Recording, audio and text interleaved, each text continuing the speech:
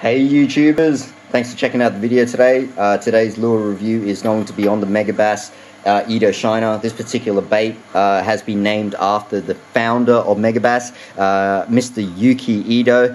Uh, Megabass is a Japanese brand, um, and Yuki Ito did um, start the company in the mid 1980s. Uh, he started it in his garage, and he was able to build a, um, a massive, um, a massive empire, really, and, and, and some phenomenal products. Uh, that work real well. So they've got absolutely standout lures. Megabass is uh, a premium brand, and they just make quality products. So everything from lures through to rods, reels, lines. Um, expensive brand, okay, to say the least. Real expensive brand, actually. But um, yeah, the, the, the, quality is there and the design is there. You can somewhat see it when you look at other baits and you try to compare it with this particular bait. You can sort of see as to why um, um, the uh, Megabass themselves have can charge what they really want to charge because it's it's it's it's up there in price, guys. It's actually actually let me find out on Tackle Warehouse. It is twenty five ninety nine uh, US dollars uh, for an Ito Shiner. So um, yeah, it's it's it's a premium brand. Guys, first of all, let's start off uh, with the physical aspects of it. This bait has been compared very much to the uh, Vision 110, which is uh, Megabass's other standout rip bait okay because they're both forms of rip baits uh, they do get compared uh, quite a lot.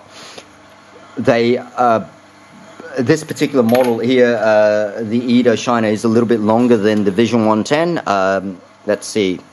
It's approximately four and a half inches there which is what's that about? Um, about uh, 100 and say 13 millimeters 113 millimeters about okay from its tail uh, to uh, the front of its um, nose there pretty much now where it differs from the Vision 110 is that um, these here are number 4 Katsuage hooks as opposed to number 6 on the 110. This here has number 4 so they are larger hooks. They still use the Katsuage uh, out barbed hooks so if I can give you a demonstration here, the barbs actually twist out that way as opposed to inwards. Now whether or not that sticks um, uh, fish more and holds you know holds the fish there, uh, I really don't know. Um, I, I really couldn't care less because these hooks are real real sticky.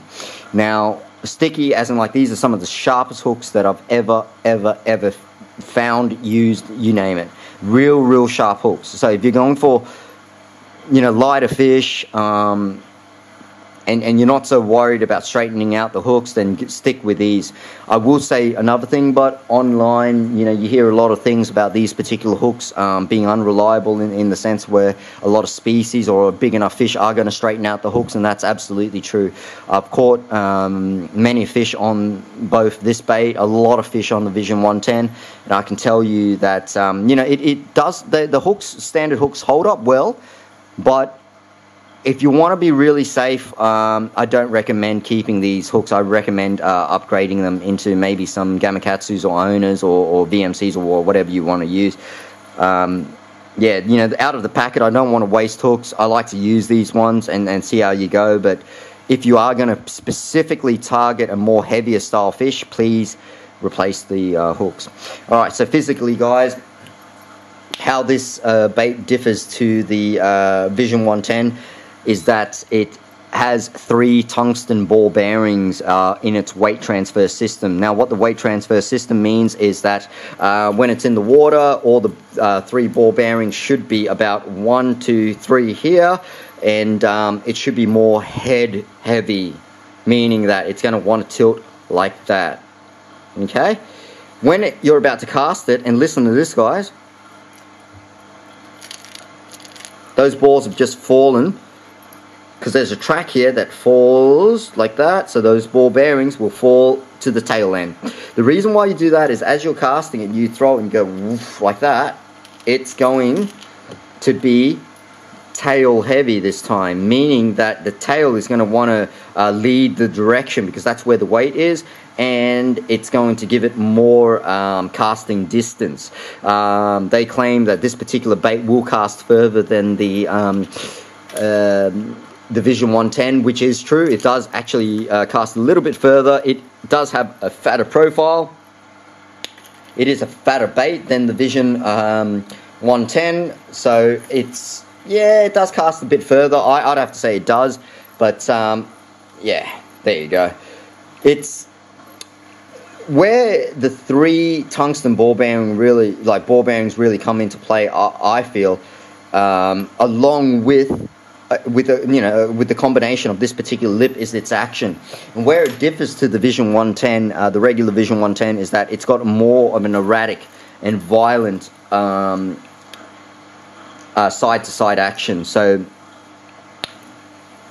as it darts side to side as you rip it it's going to want to rip it's going to want to actually go up in a way and then go down but rip on an angle and it moves sides uh, side to side um, a lot more than the Vision 110. Now, Megabass claims it, it, it'll move side to side about 30% more, but um, yeah, I, I haven't measured it in the water, so I really don't know. But uh, I'd have to say it really does, um, yeah, dart further side to side like so, guys.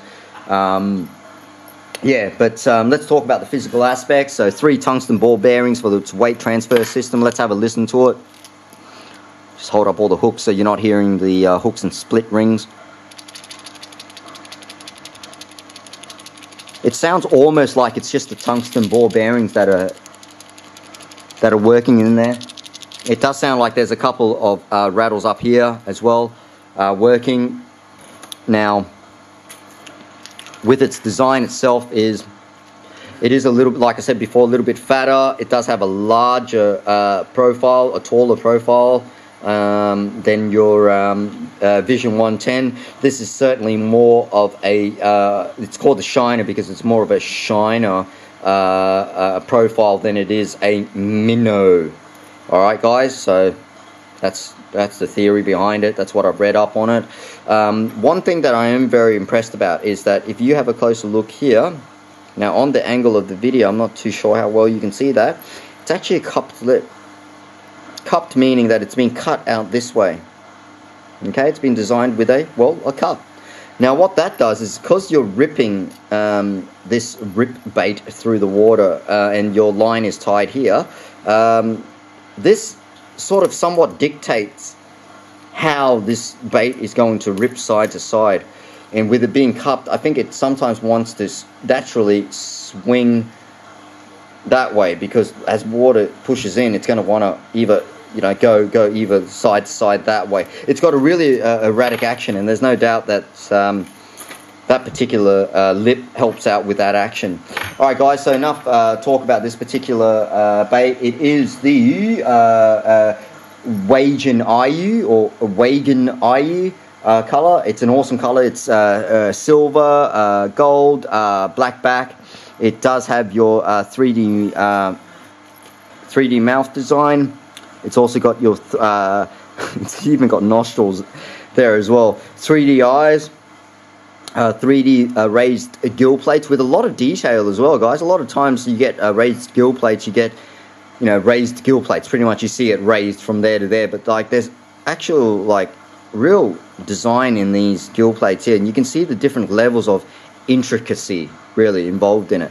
Now, with this particular bait, it's also got etched uh, scales all along uh, here above the lateral line. Uh, if you can somewhat see that lateral line there, here we go. There's the back of the lateral line, and there's more the front.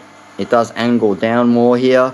Um, it's all etched scales uh, cut this way and this way on top there, and then these lines that are pretty much, if you can see vertical, uh, vertical but on a bit of an angle this way like you see on, on, a lot of baits. Okay, so real detail within the bait. Um, it does say, if you can read that, Yuki Ito 2004 Ito Shiner half ounce. Bit of information on the bait there. All right, guys, let's get straight to it. Um, I'm going to show you now a um, some more some underwater footage of um, this bait um, with different types of retrieves. Uh, under the water, you're going to be able to hear what it sounds like as well. I won't be playing music during this, guys. If you like the video, please click like. If there's anything that I could do better for you uh, to help you uh, out more, guys, uh, to get more of an understanding so I can improve. So, um, yeah, pretty much give you guys more information. Uh, please let me know in the comments below. Um, but yeah, I really appreciate your time and um, you know get out there, um, get to fishing, um, keep keep what we we love up, and um, yeah, click click like if you like it, and stick around, guys, and support the channel if you want to see more videos. All right, appreciate it. I'll see you next time. Bye.